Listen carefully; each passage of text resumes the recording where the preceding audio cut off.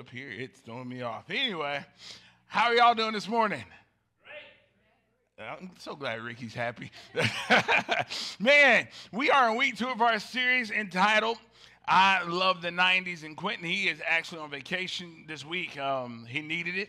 Uh, he was getting on my nerves. No, I'm just kidding. But he's on vacation. It's Brittany. They're celebrating Brittany's birthday this weekend, so they are out hanging out and fishing and things like that. And they will be back next week. Be praying for me tomorrow morning. I head. I hop on a plane. I head up to New Jersey. I'll be up there for two days, and I'll be speaking at a camp. Be speaking to some young people and uh, doing some music and just sharing the gospel. Um, I'll be back Wednesday, and then I'll be back here Sunday. I'll be back at church Sunday for our church luau. And I this week we're gonna be putting out a, a like a dessert and food sheet and all that kind of stuff. Amy's gonna kill me because I did not put it out. Actually, I'll just keep y'all after church. I'll just print something off real quick from my phone and then you can sign up for it. But next weekend is our church luau, so be making plans to show up for that. It is going to be so, so, so, so, so much fun. But we are in week two of our series, I Love the 90s. And in week one, we talked about how don't be so focused on your past that you miss what God has for you in the present and in the future. And this week, I want to talk about the cheat code. When I was younger, we used to play video games. They've changed it up now. Now, video games are weird, but they had this thing known as a cheat code. And with the cheat code, it was so cool because you could go on a game, and then there were certain spots in the game where you put in the cheat code. When I played NBA Jam, you know, they had a cheat code where you go in there and then you could to do whatever you had to do. And then all of a sudden, you would always have the fire up mode, which was pretty dope. Mario Brothers, they had a cheat code. They also had cheat tunnels and different things like that. One thing that I'll say about my mom, she worked hard to make sure that we always had the coolest and latest game systems. She also worked hard to make sure she took it away when we were grounded. But when I had it, I knew all the cheat codes. So here we go. There's a there's a company. It's it's a it's a quiz for all of our us 90 kids. All right. It's it, back in the 90s. There was a company named Komani. Right. It's K O M A N I. And Komani had a cheat code. They just popped it up on the screen. Hopefully y'all didn't see it. But they had a cheat code. Does anybody know what the cheat code was? Somebody give it to me. There you go. Give it up for Stacy. He just saw it up on the screen. But anyway, there it is right there. You ready? Here it is. Go ahead, pop it up there. It is going to pop up eventually. Uh, there it is. Up, up, down, down, left, right, left, right, A, B, A, B, start. And all the Komani games, on all these games, what happened was, was this. It's for every single game you could use this exact same code. So if you have a Komani game or if you go buy an old system, this is the code that you would use. Up, up, down, down, left, right, left, right, A, B, A, B, start. And in each game that you played, there would be something different. Komani made one of my favorite games entitled Contra. And when you played with this on Contra, you could actually run through different levels and not die. And I loved it. And, I, and when I think about these cheat codes of, of life, I guess I would say, I sit back and I'm thinking, why didn't God give us a cheat code like this? If he knew we were going to go through all this stuff, why did he not give us a cheat code in order to make it through life? Yesterday, my wife, I was sitting here, we just bought a new car, and then my wife called me yesterday and said, Hey, I need you to come pick me up. And I was like, Why? The transmission in our Acadia actually went out yesterday. So after service, I'll be taking up a special offering. All right, no, I'm just kidding. But so Sandra's like, what? But uh, but I our, our, it went out, and I'm sitting there, and I was driving, and what I what I found was is I started getting frustrated. And, and my wife, I was talking to my wife, she's like, Why are you getting frustrated with me? I didn't do it. I was like, I'm not frustrated with you. And maybe you've used this phrase, I'm frustrated with the situation. I'm just frustrated with the situation. And sometimes in life, we don't get frustrated with people, but sometimes we get frustrated with the situation. And, and, we may go throughout our day looking upset and angry and so on and so forth. And I may not be mad at you, but I'm mad about what's happening in my day. And it's at those moments that I'm like, okay, God, can you give me a cheat code? And, most of the time, we get upset because we've already been through this. On a video games, a lot of times, if you go through a level and you die, a lot of times, sometimes, most of the time, especially if you're me, like when you're playing Call of Duty, you take the controller, throw it over to the side, be like, I'll get back to this game eventually. And sometimes in life, we get frustrated because we've already been through the scenarios that we're in. I've already had a car where I had to put a transmission in it. I've already had to put a transmission in Acadia, and it was covered last time. So I know that I'm about out about 2,500 to $3,000. And, and, like Isaiah, we've read the scripture last week, but Isaiah 43, it's up on the screen. It says this Forget what happened long ago. Don't think about it. I'm creating something new. And Isaiah the prophet writes this in the Bible, but when things in your life happen, you're like, How can I forget about what happened? Uh, because last time it happened, it put me in debt, and I'm going through it again now. Some people, when they're sick in their life and they've been sick, maybe they had a cancer diagnosis or, or maybe they had some other diagnosis and God brought them through it, but then they start seeing little things happen in their life, and it reminds them, you know what? Maybe this is coming on again. And then a pastor comes to you and he tells you, forget about what happened long ago. Don't think about the past, because God is creating something new. And you want to look me in the face and say, shut up talking to me. But see, here, here's the thing that I love about the Word of God. This is something that one of my seminary teachers taught me. Eddie Rasnick, he said, God will never give you a promise without confirmation. Now listen to this in 1 Corinthians 10 13. This is what it says. It says, No temptation has overtaken you except what is common to mankind. And I love this part right here. And God is faithful that he will not let you be tempted beyond what you can bear. But when you are tempted, he will also provide a way out so that you can endure. See, here's the thing about the Word of God. Here's what I love about that scripture because Isaiah the prophet is telling me, he's like, forget about what happened, right? But the writer of First Corinthians is coming behind him and saying, listen, God's not going to put you in a place where he's going to force you to sin. Because if God is trying to pull me out of sin, why would He put me in a place where I'm going to sin? So what the what the, the writer of First Corinthians is telling me is this: is hard times are going to come, but God will never leave you in them. He tells me, He says, but when you find your way out, because God is going to provide it, don't forget that He's trying to do something new in your life. The reason why we can't focus on the past is because if we focus on the past, we'll miss God's promise that He gives to us for a future. Let's pray. Father God, I pray that as you speak through me this morning, that God, they won't hear my voice and that they won't hear my, my tiredness, that they won't hear my mistakes or my mess ups this morning, God, but that we all hear your voice and that this morning that we're reminded that God, you're faithful. You're faithful in our past. You're faithful in our present. And you will for sure be faithful in our future. So, God, this morning, as we talk about the cheat code, pray that our minds are clear, our ears are open, and that we hear from you. And all God's children said, Amen. Exodus chapter 14. And I'm, I'm going to give you the backstory because we all know about the parting of the Red Sea, but I want to give you the backstory. Moses was born during a time where Pharaoh wanted to kill all the babies. And, and Moses' mom hit him, and what she did was she, she, just said, Hey, God's going to do something great through him. And so she, what she did was she built this wicker basket and she put him in it, and then she sent him downstream.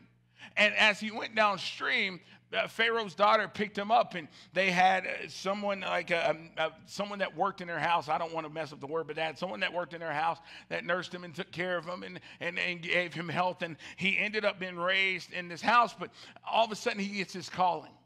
And here's one of those side notes that, have no, that has nothing to do with this message, but when God gives you a calling, not everybody's going to agree or accept it or understand it. But here's the crazy thing about callings God did not give them the same calling that He gave you, so they may not understand why you're thanking God and praising God for where He has you. But you know that God's going to do something great because you're not focused on the past, you're focused on the promise. So what happens is, as Moses gets this calling, he kills a guard. He's told to lead the people out of Pharaoh's captivity, and now he brings the people out of Pharaoh's captivity. And now they have reached this pinnacle point in the story where they have Pharaoh's army behind them and the Red Sea in front of them. But we're going to go about a few steps back because I feel like there's some important parts in the story that a lot of pastors skip over. We always want to go straight to the Red Sea and say, "This is what happened at the Red Sea," but God had made some preparations. Look at somebody say preparations. Look at somebody else say preparations. Here's the thing about God when God is sending you into a certain season of your life, He'll always make preparations. You may not always understand the preparation. Guess what? You may not always see the preparation, but God will always make preparation. And in Exodus chapter 14, starting at verse 4, it says this God, Christ is God is talking at this moment, and he says, I will make the king stubborn again, and he will try to catch you, then I will destroy him and his army. People everywhere will praise me for my victory, and Egyptians will know that I really am the Lord. The Israelites obeyed the Lord and camped where he told them to. Here's some points that I want you to take home with you. Listen, God already knew what Moses was about to face and had a plan. God already knew what you were going to face in your life. And guess what? Before you faced it, before you reached this moment in your life, He had a plan. Before you shed your first tear, before you got your first diagnosis, before that you went to your first doctor visit, God had a plan. So when Moses approached the Red Sea, or when Moses knew that he was walking this way, God had a plan. Here's the thing that happens is Moses was not dumb to the fact that the Red Sea was there because the Red Sea, it stretches hundreds of thousand miles. As a matter of fact, the Red Sea is actually over a thousand feet deep. So it was not some shocker that he was headed in this direction. And I'm sure that at some point in the back of his mind, he was like, you know what?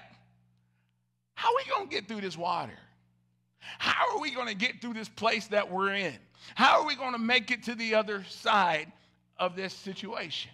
And sometimes in our life, we reach that point where we say, How am I going to make it to the other side of this situation?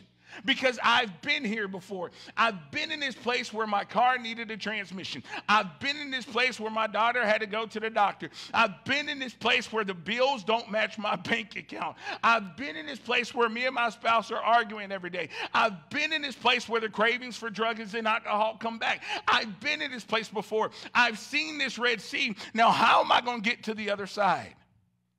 And you would think that when he hears Christ say, I'm going to make Pharaoh's heart stubborn. But trust me in it, that he'd be like, I got you, Jesus. Okay, that's cool. But here's the reality. Just like he knew the Red Sea, he knew Pharaoh's army. And he knew that a bunch of slaves that he were that he was escaping out of Egypt, that they were not going to be able to take down Pharaoh's army. He, I'm sure that there was some worry and concern, and I wish that the Bible had. You know how in NFL games sometimes they mic up the players? I wish that during biblical times they would mic up like Moses and Peter, like when he was in jail, and, and we could hear what they're saying. Because I'm sure that eh, during that time when, when God said, Listen, I'm going to make Pharaoh real upset at you, and he's going to come after you, I'm sure Moses would be like, You going what? When I was younger, I'll, I'll never forget, my teacher told my mom, she or told me, she said, I'm going to call your mom. And I'm, I'm going to talk to her and listen. I've been down that road before. And I knew, because see, back then, like I said last week, in the 90s, you could whip your kids. And I knew that when that phone rang, I was going to get my butt torn up. Believe it or not, I was not always the model student. But I remember when that phone rang, and, and when that phone rang, I was like, how am I going to get to the other side of this? And, and, I would come up with every excuse in the world. And my mom probably remembers this story. You remember that time I stuffed toilet paper down my pants? You remember that?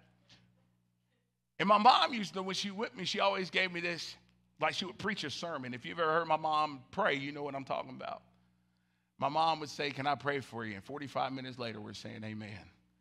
But she would say, God doesn't want you to act like this. He's got so much better for you. Let me give you some parents. If, if, if, your kid think they're in trouble, especially if you still spank your kids, we don't hear anything you're saying. All we, we're just waiting for the pain to end. So if you're trying to encourage me before you're about to whip me, I don't hear nothing you saying.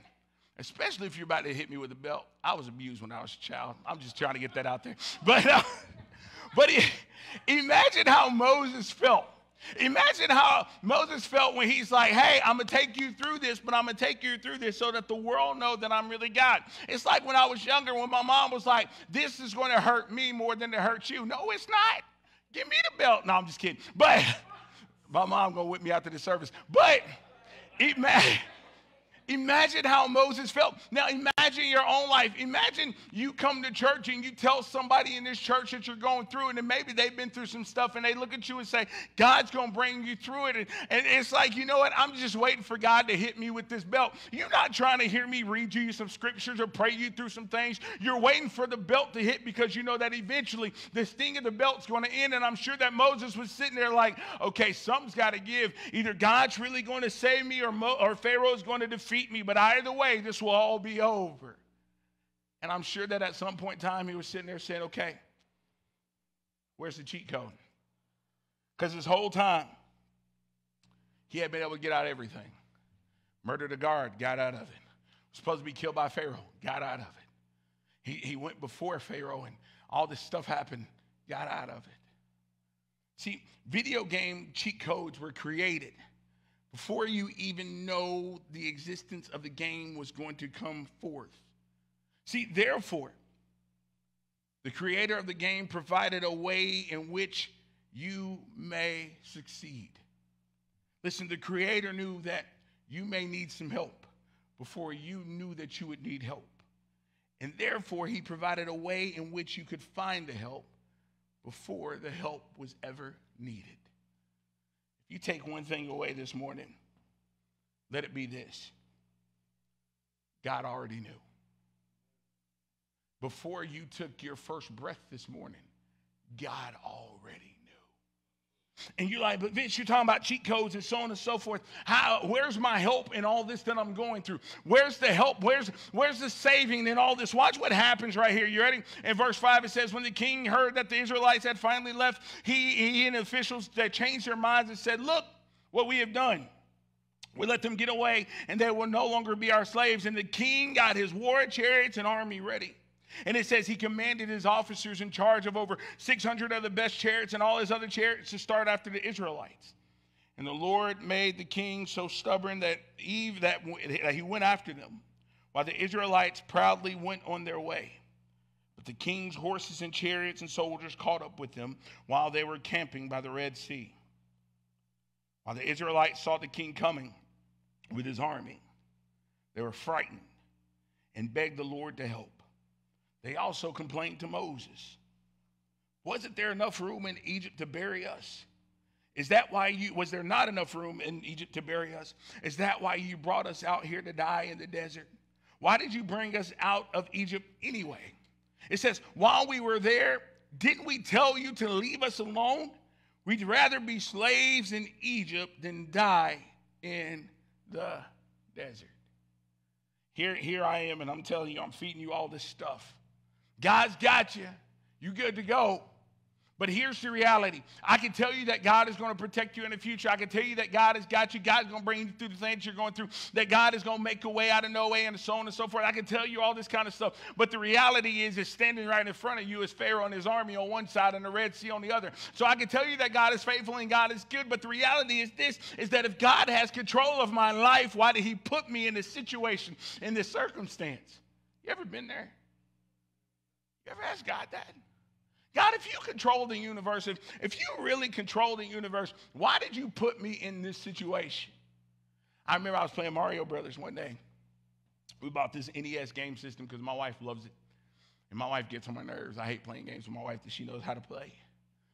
She sit up there, she playing. She going to town. And she's like, your turn. And she knows where all these tones are. She knows where raccoon tail. Talk to my wife about Mario Brothers. You'll have a whole long conversation. So she's playing and she's doing her thing. And then she dies. So then I play. I ain't get that far because, see, in Mario Brothers, I don't go for all those secret tunnels. I'm just trying to get through the game. So I'm running through the game and I'm doing my thing. And, and all of a sudden, I jump this, this, this little tunnel thing. And then I get hit by one of the little owl looking things that walk like this, you know? Y'all know what I'm talking about. And my wife says, Oops, she lost my turn. I hate playing video games with my wife. And eventually, to save our marriage, I just threw the controller down. I said, I'm done. I don't even want to play no more. I'm sick of playing games with you. Because, see, my wife gets real mean when she plays video games. Mom, she said your mom one time. You need to talk to her about that. But my, my wife gets real mean with it. She don't care how old you are. You can be 60 or you can be six years old. If my wife starts beating you in Mario Brothers, she's gonna talk as much junk as she possibly can. And she's like, you know what? Yeah, you don't know how to play. Yeah, you don't know. But see, if I try to play my wife in the game that I know how to play, she gets all mad and so on and so forth, and then she don't want to play me. But how many times in life do we get that way? How many times in life do you play a game, or maybe you watch a game, maybe you watch a football game? We were at the Falcons game this last Thursday or Friday night, and I'm watching the game and I'm yelling down at the field like I'm actually their coach and they're going to actually hear me. How many times do you do that in life? And then all of a sudden, when they start losing or things don't go your way, you're like, see, all you had to do was listen to me. That's all you had to do. And that's what the people that Moses had just brought out of captivity, that's what they were saying. Why did you bring me out here? Did you just bring me out here to die? And here I am saying, Oh, God is faithful. Just trust God. And every day that you're going through the hell in your life, you pray and you listen to the, all the worship songs. You read all the scriptures. But yet things are still unraveling right in front of your eyes. Now, watch what Moses does, because this is what I, as a pastor, do. You ready? Moses, this is what it says in verse 13. It says, But Moses answered, don't be afraid, be brave, and you will see the Lord save you today. These Egyptians will never bother you again. The Lord will fight for you, and you won't have to do a thing. And see, I'm sitting up here saying, God is faithful. If you're faithful to God, He's faithful to you. And I expect for God to be like, man, I heard what you said, Vince. That was that was fire. I'm ready to go. That was lit. Isn't that how God talks, right? That's how he talks to my brain. And he's like, I got you, Vince. I got this. But watch what God says to Moses. The Lord said to Moses, Why do you keep calling out to me for help? Wait. Why do you keep calling out to me for help? That wasn't the answer I expected. I expected for you to do something, you know, pizzazz and wow and bing, bang, bong and fix their life. That, that's what I was expecting, but I was never expecting for you to say those words. Why do you keep calling out to me? I call out to you for help because that's what you told me to do. You said, Come to me, all who are weary and heavy laden, and I will give you rest. Take my yoke upon you and learn from me now, for I am gentle and low in heart. And here you'll find rest for your soul. And God, I hear you, but I'm so tired, I don't think I can keep going. So I tell you, keep trusting God. You like, Vince, what did, what did God tell you about my situation? Well, see, I, I talked to him and I told him everything. He said, Why do I keep bothering him? But watch what he says next. And here's a part that pastors, myself, we don't preach. It says, Tell the Israelites to move forward. Come again? Maybe you didn't see the water. See, there that, that's a thousand feet deep. That's that's something that I, I, I know I can't do. It. When I was younger, I remember reading this story and saying, I'm gonna walk on water. Y'all ever try that? It's the greatest thing ever. Not now, because if I fall now, I'm gonna be hurt for like a week and a half. But when I was younger, I was standing at the edge of the pool, right? And you just take off running and see how far you can get. And see, in my brain, I'm thinking, man, I ran halfway across that pool there is, I, I didn't get two feet into there, two steps into the pool before I fell. But here's God, and He's like, listen, stop bothering me. Keep moving forward. But watch what he says right here in verse 16. He says, Then hold your walking stick over the sea. The water will open up and make a road where you can walk through on dry ground. I will make the Egyptians so stubborn that they will go after you. Then I will be praised because of what happens to the king and his chariots and the cavalry. The Egyptians will know for sure that I am the Lord. Now listen, let's let's talk, let's talk about this. Let's pause for just a second. Here's God, or here's Moses. He like, okay, God, listen. Pharaoh's a little bit upset. He's right here. The Red Sea is right here. I'm running out of time. What am I to do? God, listen, my problems are right here. My future problems are right here. Chaos is right here. What am I supposed to do? He says, just keep walking. So, wait, you want me to just walk into more problems and situations? You want me to walk and you want me to walk and die? Because listen, here's the thing. He says, listen, hold out your staff and the sea will open up. And, and I'm sure that, that Pharaoh was like, I mean that Moses was like, wait one second. So what you're telling me is if I hold out a stick, that I'm gonna be able to walk through this thing?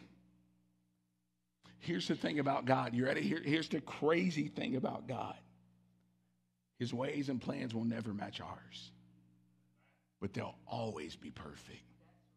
I was watching video games from years back, and I was looking at how graphics had advanced. And there's this, we were at the uh, Stars and Strikes a couple weeks ago. I meant to upload this video and I totally forgot. But back in the day, video games used to look so unrealistic, right? But like the thing is, is now they look extremely realistic, and they have this, they have a thing called an Oculus, and you put it over, and it's like an immersive type game. And no matter where you look, you're in the game. And a couple weeks ago, we had our family night at Stars and Strikes. My family and I, we decided to do a, a scary room because I love scary things. So we decided to do a scary room. And if you want to see the video, let me know. Amy has it. I've got it. My family has it. I'll show it to you. I may just post it up on the North page so you all can see it. But what happened was, is my daughter, we're in this thing, and you can't see out to see who's watching you, but they can see you clearly on the inside. So on the inside, my daughter's wearing her, her little Oculus things, Asia. So she's wearing it, and Asia's running around like she's a burglar in a house. I didn't understand it. She's like this. And I was like, what is happening? She's like, I was, she, we had to get certain objects and take it to this whole candle thing. So she had this object. She's like this. And I was like, what the heck is going on? Now, you can't see this during the game, but you see it on the outside on the video. So then Asia goes backwards and she just falls. You've got to see it. And she screams when she falls. It don't bother me because I'm like, this is a game. I could pull off my headset at any time. But she got so involved in this game that it became real. And for many of us, the things in our life that we're going through, we give it so much time and attention that it becomes more real than our faith. And we forget that all we have to do is take off the headset. We forget that all we have to do is trust God. Yeah, you know what? You may see some more scary things before that headset gets off. You may not forget some things that you've been through, but eventually the headset's going to come off. You're going to realize what I thought was so bad was not bad at all because I had the cheat code the entire time. Lamont, let me borrow you real quick. Let me show you what Moses probably felt like. Come here, little mine. I've never used you. I have used Lamont. There's an old school game when I was a youth pastor back in the day. It was called, I'm not going to tell you the name of the game because then you may go sit down. But what's going to happen is you agree to this game, right? All right, good. You're not going to hold the church liable in case you choke, right? Good. All right. The game is called Fluffy Buddy. You ready? So I'm going to ask you a riddle. Very simple riddle. The riddle was asked to me. If you miss it, I'm not going to give you the answer. You're just going to take a marshmallow and put it in your mouth. Don't chew it, just put it in your mouth. Okay? All right. You ready? For the For the for the for Jesus. There are 30 cows and 28 chickens. How many didn't? How many didn't? You want this? There you go. All right. Think about it. I'm going to ask you again. There are 38 cows and 28 chickens. How many didn't?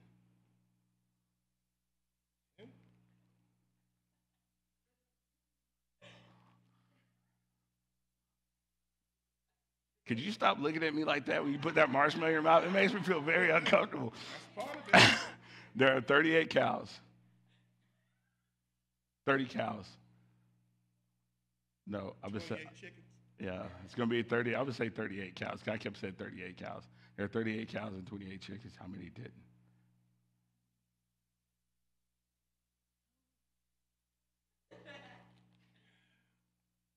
There are 38 cows and 28 chickens.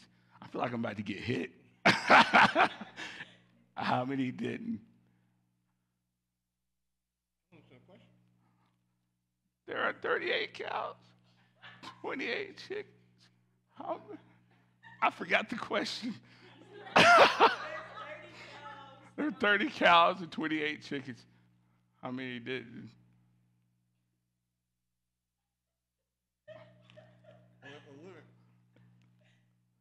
Okay.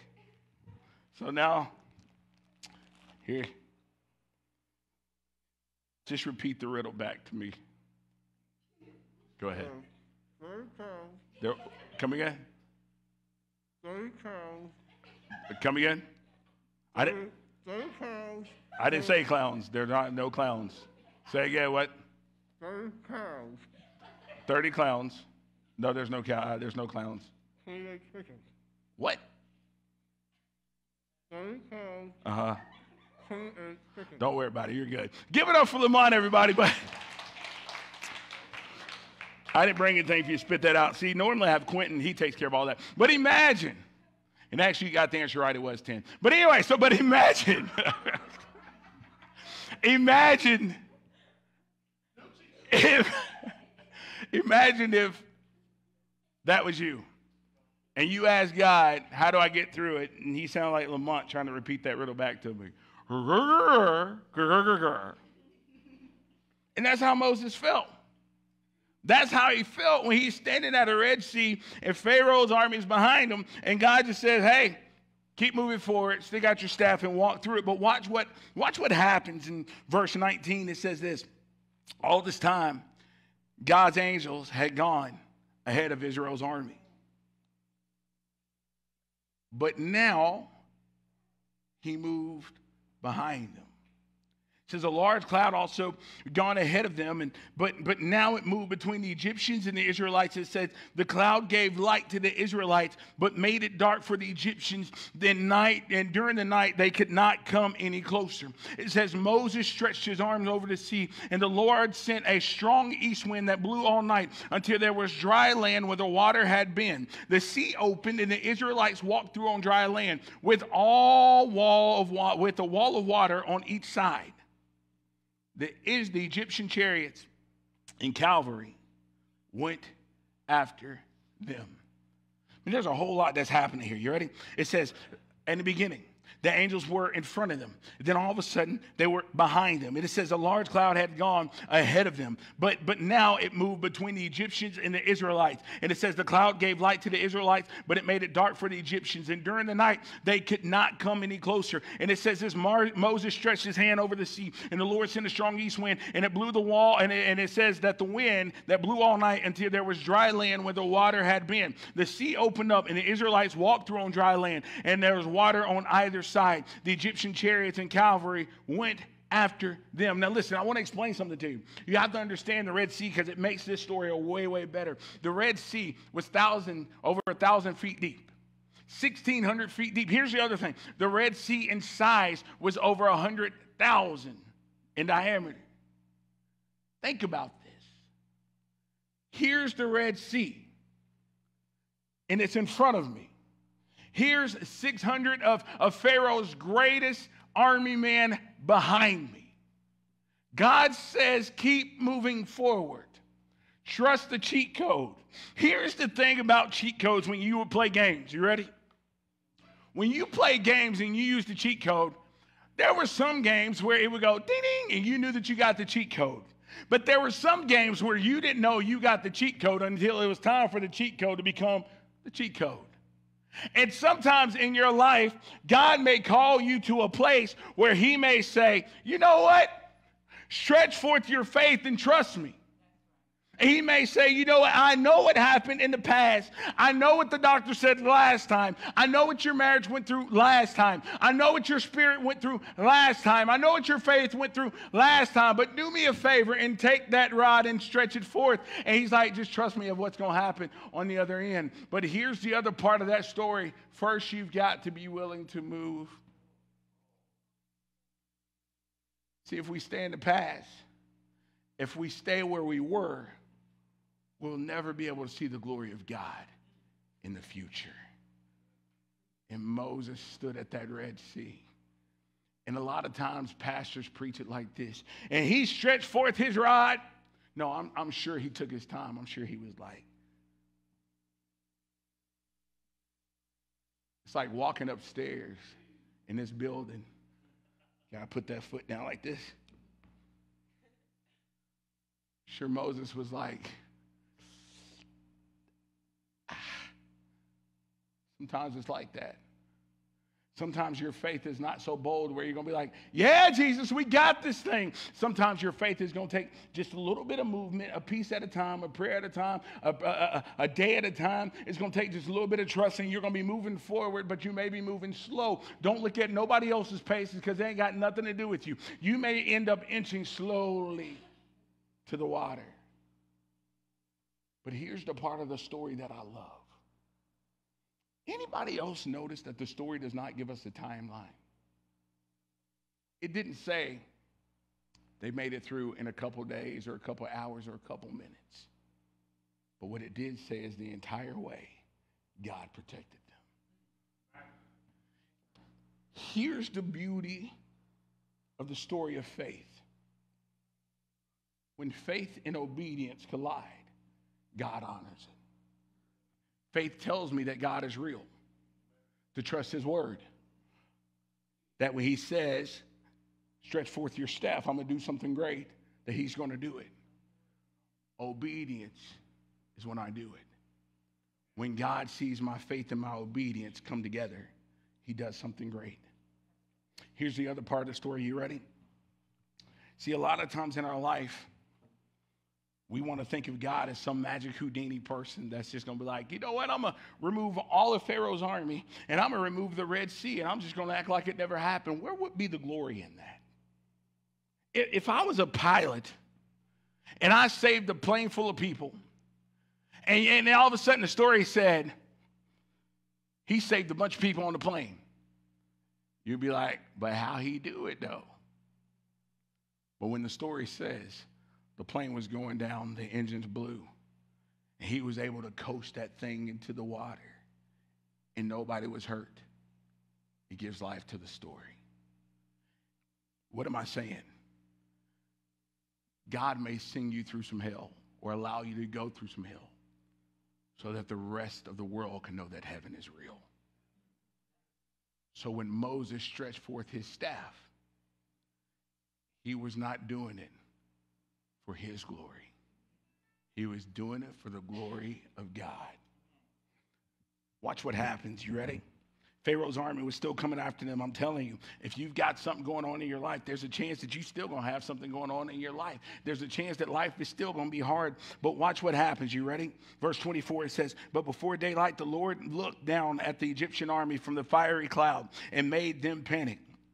Their chariots' wheels got stuck and it was hard for them to move. So the Egyptians said to one another, Let's leave these people alone. The Lord is on their side and fighting against them. And then the Lord told Moses, God was like, Listen, I made you a promise. I said that you won't have to worry about them again. See, God could have said, you know what, they're running. But see, the, the Egyptians, they would have came back later on. Pharaoh's army would have came back later on and bothered them. See, can I tell you something that when God keep when God makes a promise, he keeps a promise. Now watch what happens. So he said, he told Moses this. Stretch your arm towards the sea. The water will cover the Egyptians and their cavalry and chariots. I, I, I, if, if I was writing the scripture, it would say this Stretch your arm towards the sea and watch my promise fulfilled. Because the Bible says that Moses stretched out his arm, and at daybreak, the water rushed towards the Egyptians. They tried to run away, but the Lord drowned them in the sea. The water came and covered the chariots, the cavalry, and the whole Egyptian army that had followed the Israelites into the sea. And it says this not one of them was left alive, but the sea had made a wall of water on each side of the Israelites, so they walked through on dry, on dry land.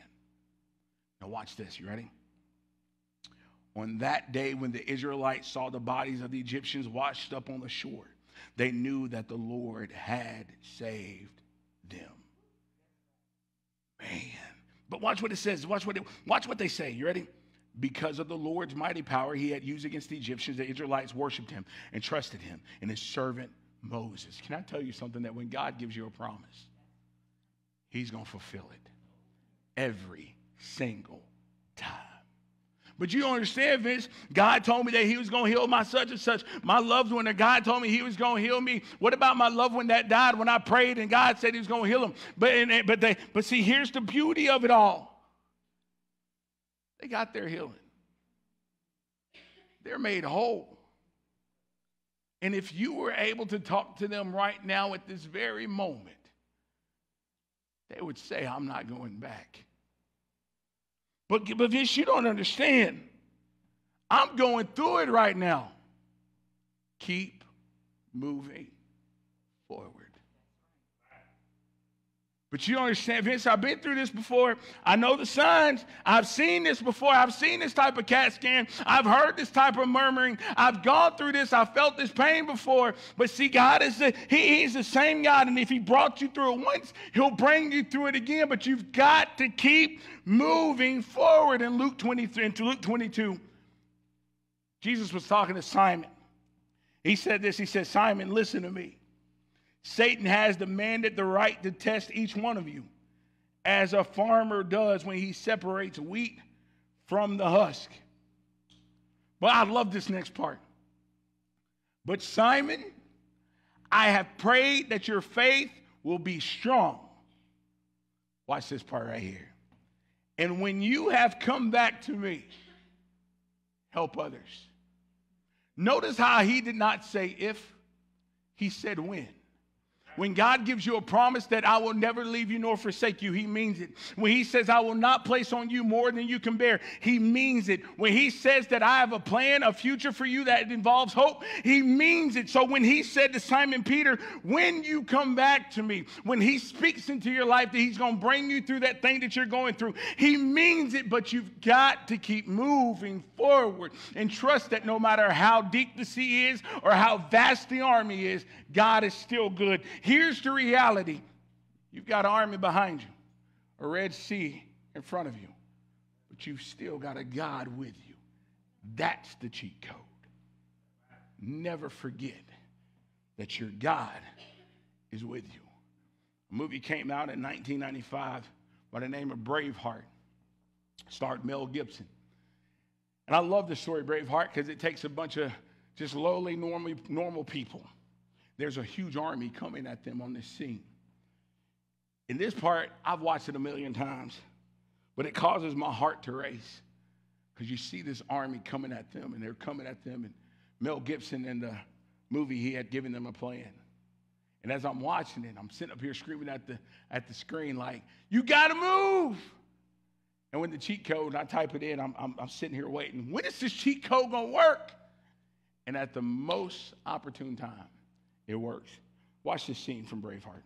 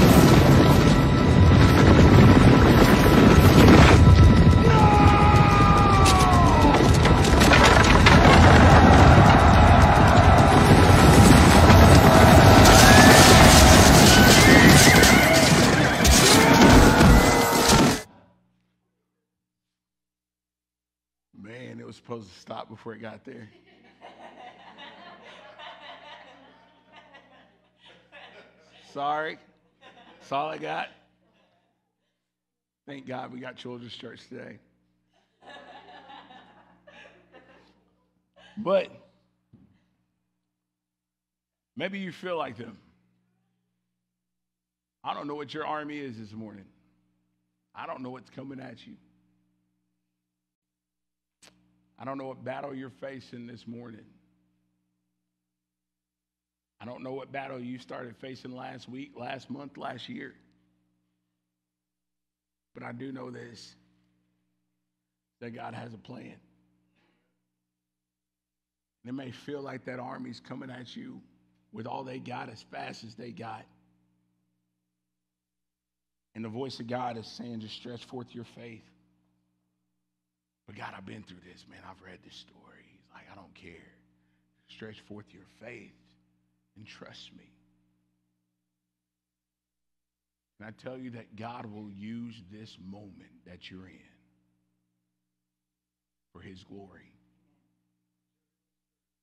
if you stretch forth your faith. Watch this last slide. It says it, says it this way. You may be going through it, but never forget who is in it. His name is Jesus.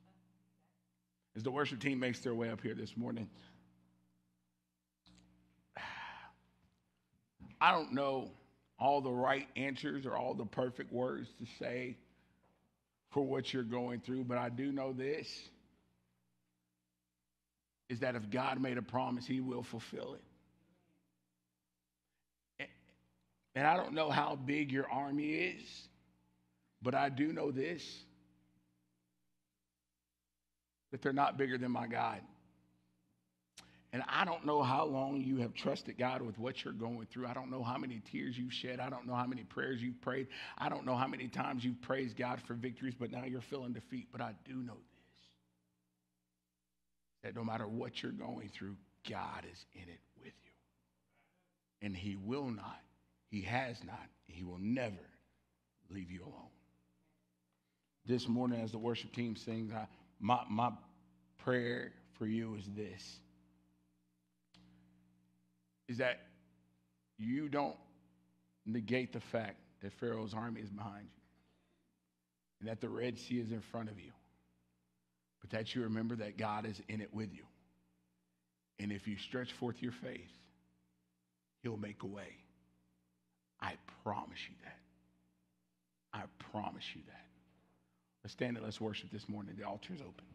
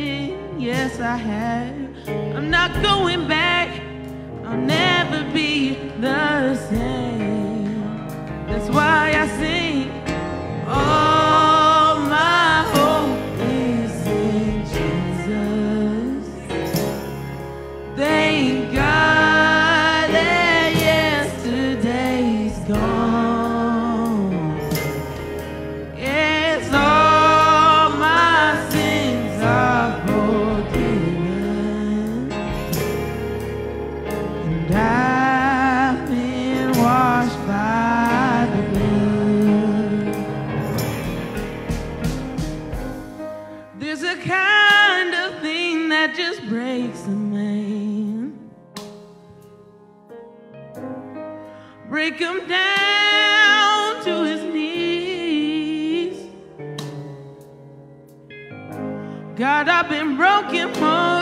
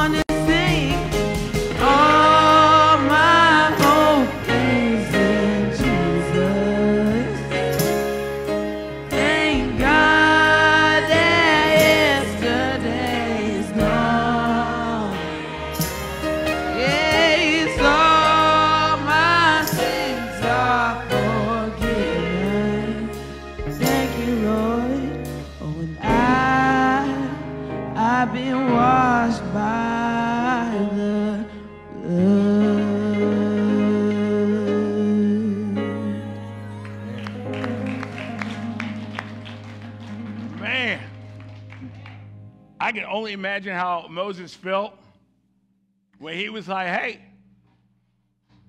my yesterday is gone. Man, man, man, man. When he could look back and see Pharaoh's army underwater. This morning, my hope, my prayer for you is this is that you take what you're going through in life. Y'all sit down with, did you take what you're going through in life? And you say, God, I trust you with it. And that one day you'll be able to look back at all the armies that came at you, all those things that tried to take you out, all those things that tried to bury you and bury your faith and bury the calling that God had on your life, that one day you can look back at the Red Sea. Say, I had all my hope in what I knew, but one day, all my hope was placed in Jesus' hands. And I thank God that I don't have to worry about that anymore. And then what happens is this you ready? Here's what happens your battles become your victory stories. And instead of you saying, I'm fighting or I'm going through it, Instead of saying, man, the devil is sending me through it this week, you can look and you, go pro- you can proclaim with great confidence. You could say, you know what? There was a day when I was at North Church of Rockmart, or there was a day when I was on 75, or there was a day when I was on 278, or there was a day when I was in the local grocery store, or there was a day when I was sitting at my home, when I finally had this moment where I said, why am I holding on to my faith? If I just hold on to it, it doesn't do anything, but it's like a comfort blanket. But when I extended and I trusted God with it, He moved and He did something. And now I can look back and the things that I was going through are now the things of my past, and no longer are they chasing me, but they're skeletons in the Red Sea that Christ allowed me to cross. See, there's beauty in that story. There's beauty in that moment. My prayer and my hope for you this week is that before you come back into this building, that you look at the army behind you, that you look at the Red Sea before you, you look at your faith, you say, God, you have your way. And watch what he does. Watch what he does. Let's pray. Father God, I pray that this week that we'll learn to stop looking at our past and focus on you. Because God, you are our present. God, you hold our future. And God, you can heal us from our past. But first, we've got to place it in your hands. So, God, this morning, I pray that before we leave this building, that no matter what we're going through this morning, that we remember you are the cheat code. And before this moment came, you knew that it was going to come, and you had a plan, and you're using it for your glory. So, God, all the pain, all the tears, all the fears, all the whatever. You know it, you see it, and you're not leaving us in it. You're using it for your glory. So, God, take our faith, open Red Seas, destroy armies, so that the world may see you. In your precious holy name, and all God's children said, Amen.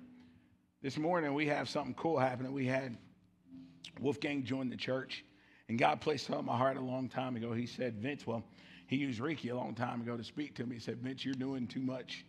He said, You're trying to do too much. You're trying to carry the weight of the world or the weight of North on your shoulders. He said, You got to stop. Did you, Ricky? And I said, Okay. And I, and I spent some time praying and I said, Okay, God, what is it that you would have me do? And if you knew me when I first started North, well, I had to have my hands on everything. If it was happening, I had to, I had to know about it. I had to know what was going on. Right, Amy? Right.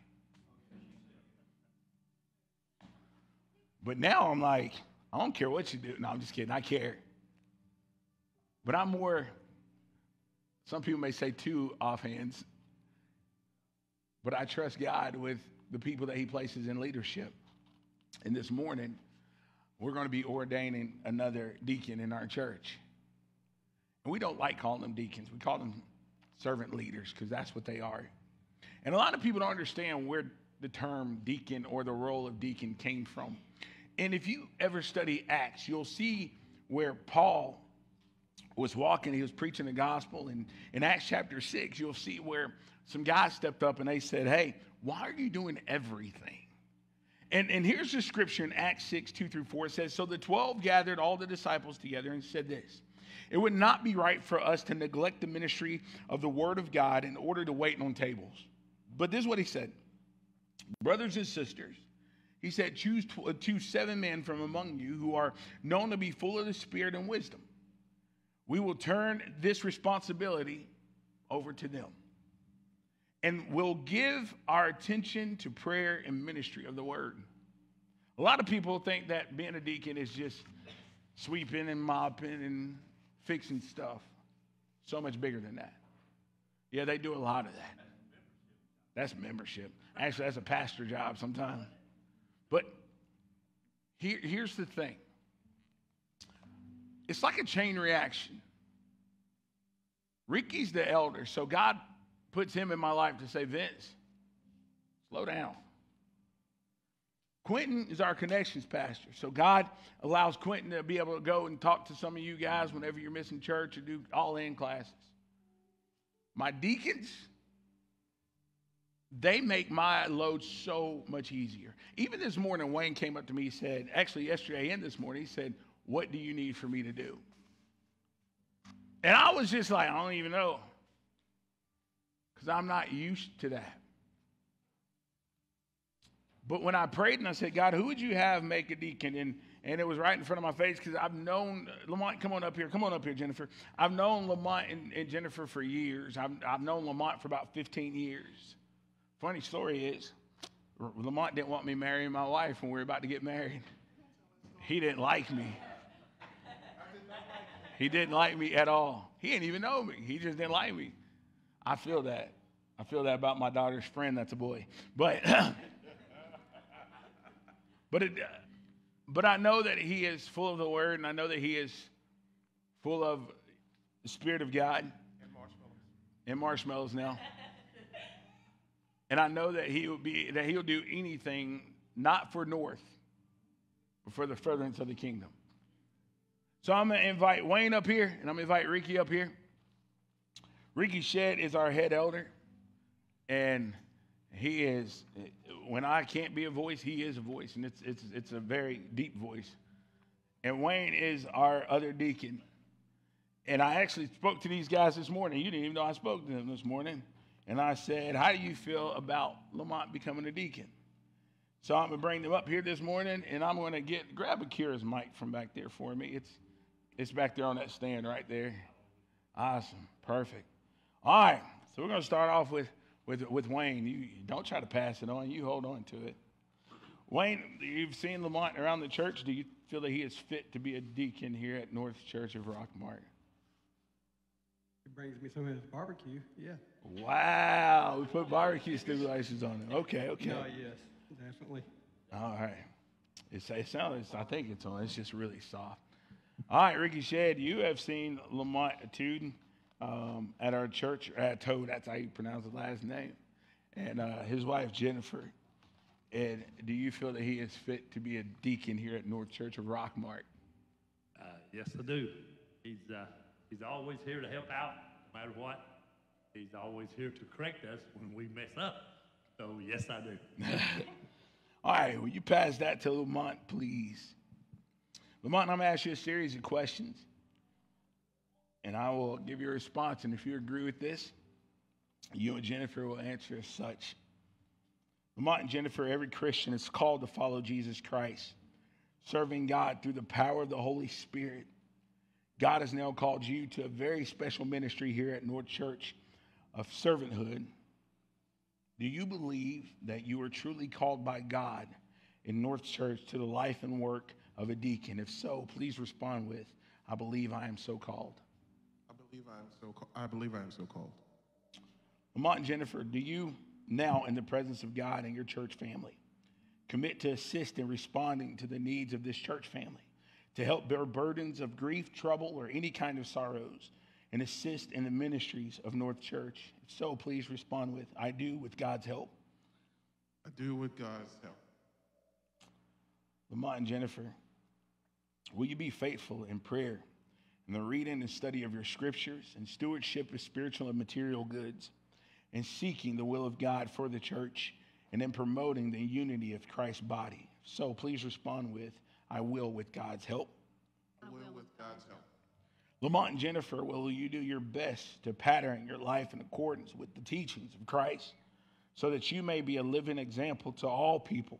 And in all things, seek not your own glory, but the glory of our Lord and Savior, Jesus Christ. If so, please respond with, I will, with God's help. I will with God's help. North Church members, would you please stand to your feet? North Church, in placing this call and appoint Lamont and Jennifer, will you faithfully support them there in their ministry through prayer, encouragement, and obedience?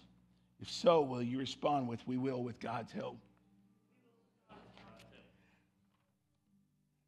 May the Lord empower all of us here at North Church and you, Lamont and Jennifer, as you work towards the furtherance of God's kingdom through your work, your servanthood, but most of all, through answering every phone call that you get from me. Okay? we call the wives up here too because we believe that not only is ministry a husband thing, it takes two. Can I tell you that I would not be who I am if it was not for God and my wife and my children? They support me in everything. I can't tell you how many times I've been here cleaning up with my wife beside me, or how many times my wife has been by my side on no sleep at all at a hospital or at someone's house or at a grocery store or here at the church. It's not just one. My wife is my biggest cheerleader. Y'all are my second biggest cheerleader, but my wife is my biggest cheerleader. And she is there with me every step of the way. So today, as we anoint Lamont, we're also anointing Jennifer because they are in this thing together. And we are in this thing with them. So if you don't mind, Lamont Jennifer, step over this way. I'm going to ask Ricky if you want to stand behind them, and Wayne, if you want to stand over on that side. And we're going to anoint them and pray over them this morning. I don't have any oil this morning, but I'll spit on my hand. Jesus did it, I can do it too. And if you all don't mind, stretch forth your hands as we pray over them. Father God, this morning, we empower, encourage, watch, and cheer on Lamont and Jennifer as they take this step into ministry together. God, I pray they realize it's not going to be perfect. Man, I've been pastoring for years and I still stumble and fall. But I pray that they never forget that you are the one that's going to pick them up, dust them off, and tell them to keep running.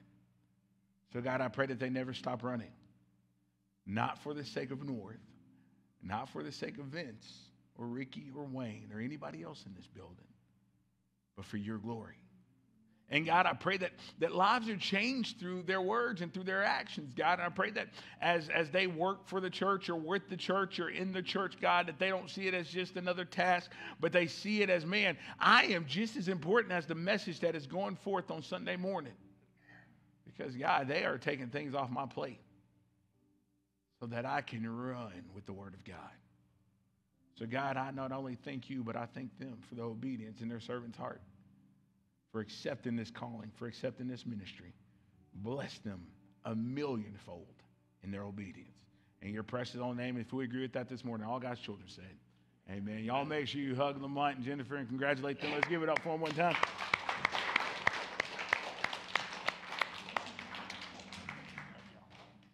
Man, here we go. We have the end. Got some announcements. We got students tonight. We have our church luau coming up this Sunday. Wednesday night Bible study this Wednesday night online. Uh, children's, we still got it going on. We are we are trying something out with our children's where you're going to be able to check them in through your phone. Um, not only that, but we're going to have a way. Church Central or Center, whatever it's called, it's great. It is fantastic, but I don't feel as though it fits our church. So we're looking at a new platform. And here's the thing with this platform it's going to be really cool. It's something that you can actually use on your phone. We'll have a picture of your child. We'll be able to print out labels. You'll be able to print out labels from a wireless printer, and you'll be able to check your child in and check your child out. We are extremely close to finishing up that back room. When I say close, I mean extremely close to finishing up that back room. And it is going to be mind blowing what God is going to do in that room. If you haven't signed this piece of sheetrock up here, please do sign it. But back to what I was saying.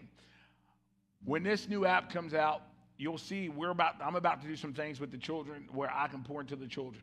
I pour into the adults, I pour into the students, but I have not poured into the children of the church. So I'll be hanging out with those guys. I'll get some of the students to help us out. We'll do like some field day games. We'll go to pumpkin patches and all that cool stuff. And uh, so just to pour into them. Because can I tell you something? A lot of people think that children are the church of the future. But man, if you watch these kids, they're the church of the now. God didn't say, suffer not the little children because he thought that they were going to be some future church. He said, suffer not them because he knew that they were going to do some things that was going to rock the world today. And that's why we're going to keep pouring into our kids. Amen. Come on, amen. So I can't wait to see what God does in that children's room. That's number one. Number two, we do have students tonight. Students, make sure you are here at 445. If you got your fishing stuff and you want to hang out, I think we're going to go fishing. Or I may be going to the bowling alley because I got to beat Ethan in the bowling game. If he lied to you this morning, I'm sorry. We're not talking about it.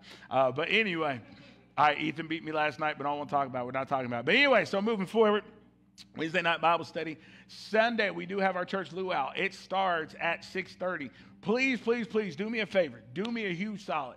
See Amy before you leave today. She has a list of stuff that she sent a text to me, and I told her I'll get something out, but I didn't. I'm not looking at her because she's probably shaking her head because she's used to it. But see Amy today, and what she'll do is tell you what you can bring and all that good stuff. So please, please, please, please, please see Amy, and um, and she'll tell you to be there either at 5:30 or 6:30. Listen, if she tell you don't be there to 6:30, don't show up at 6:30, please. Let give them time to get this place ready, right, and all that good stuff. Bring your swim trunks. If you go swimming, I'm telling you now, it's recorded. If you if you don't know how to swim and you decide to get in that pool, between you and God. You might see him that day. So that's number two. Last but not least, we have a um, September 3rd, we have a night of worship. My friend, my brother, my pal, Tim Howard, he'll be here. And not only that, yeah, you clap that up. That's cool. I like Tim Howard. Um, here, here's the other thing. Our worship team is actually going to be singing that night. We have never done a night of worship. Well, we have. We did it one time. But we have not done it with our new worship team where they're going to be leading that night. I'm excited to see what God's going to do. I'm excited. So this is what I need for y'all to do on September the 3rd, first September the 3rd. Let's invite everybody. I don't care who it is. I don't care if they're an atheist. I don't care if they walk into this church with an upside down cross and a pentagram on their shirt. Bring them. Because I believe that God can do something great even with that. Sit down, Wolfgang. We're not talking about you. But, but I believe that God can do something great that night. But here's the thing we got to bring them in, right? We can tell them how good the food is. But if they never try, guess what? We just talking a bunch of nonsense, right? So let's bring them in. That's that's that's that. Now here's the most important part of our second most important part of our worship, extended part of our worship. It's our giving. Last week, let me just tell you, thank you, thank you, thank you, thank you, thank you. You heard my heart and you gave. And I'm gonna do it every week. I'm gonna ask you to give every week. because I believe that God is to do something great in this church. But here's the thing I'm just to be real. Our electric bill is way more than it's ever been. Way more than it's ever been. Had I known it wasn't working last week, we wouldn't even had it on. We, but, but it is a lot more because we got to run this thing a lot. And when Ricky and Wolfgang are here, we cut the air on because it's hot in this building. And I would not ask them to work if we did not have air in this building. But our electric bill is really high. We got things that we want to do. So I'm going to ask you to give out of conviction, not out of convenience. I'm going to ask you to give like not the church's life depends on it because God's going to keep this church moving, regardless if you give or not. But I'm going to ask you to give like Georgia Power bill depends on it, like Scana Energy depends on it, like future events depend on it. That's what I'm going to ask you to give. I'm going to ask for you to give with a heart of conviction for the lives that can be changed through our obedience this morning. Amen? Man, it's like that part where everybody just shuts down. I'm going to ask for you to give like God has blessed you and you're ready to see Him bless others. I'm going to ask for you to give like you believe in the vision of North Church. I'm going to ask you to dig deep, give big, and trust that God is not going to fill your bank account, but He's going to change lives through it. Because I'm not one of those pastors. If you send 300, God will give you 3,000. I ain't going to make that promise to you. Because you may give 300 and your lights are off next week. Can't promise you that. But I can promise you this I can promise you that what you give will keep these lights on. I can promise you that what you give, and even if they're not on, listen, I can promise you that what you give, if we got this building, that I'll be here on this platform proclaiming Jesus is still good, that he wants to change your life. But we got to give. Amen. Come on, amen. amen. Come on, amen. amen. So this morning, can we give out of conviction, not out of convenience? I'm going to do it.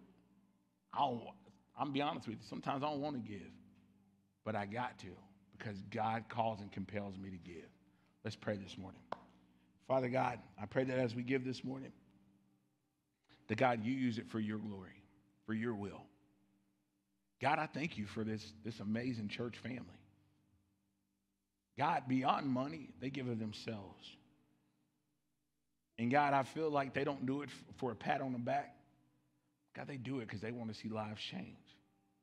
God, when I look at North Church, I see your calling coming to life, your great commission coming to life, your word in First John where he says, you got to love your neighbor in order to say you love God.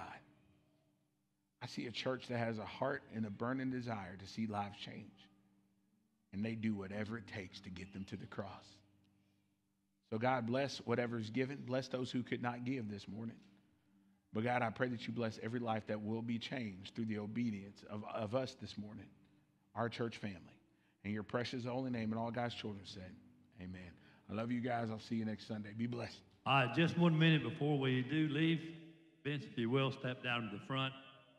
I was, uh, I was asked to do this, and when somebody asked me, I just smiled because I was going to do it already. God laid it on my heart. Well, no, no uh, Vince will be, he drives fast enough up and down the highways, but he's going to be going real fast. He's going to be flying out. And he's going to do God's work. So I'd like to get the church, if they would, uh, everybody gather up here. We're going to have prayer for it and I thought about some things, and then uh, someone else come up to me said they wanted to say a word, and I said, "Well, that's good because I was going to give it to you anyway." So I'm going to get the one who started him on this path to lead us in a word of prayer, and that's your mother. Here you go.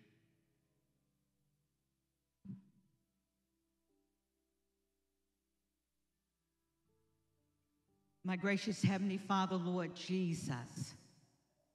Father God, I praise you and thank you for this man of God.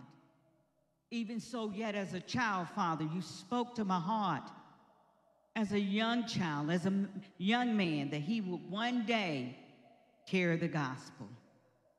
And Father God, we know that it's not by power nor by might, but by your spirit. And Father God, even yesterday, as I sat in the back and I thought, 40 something years later, you have brought to pass the very thing that you told me you would do in his life. And for that, Father, I say hallelujah. Praise the Lamb.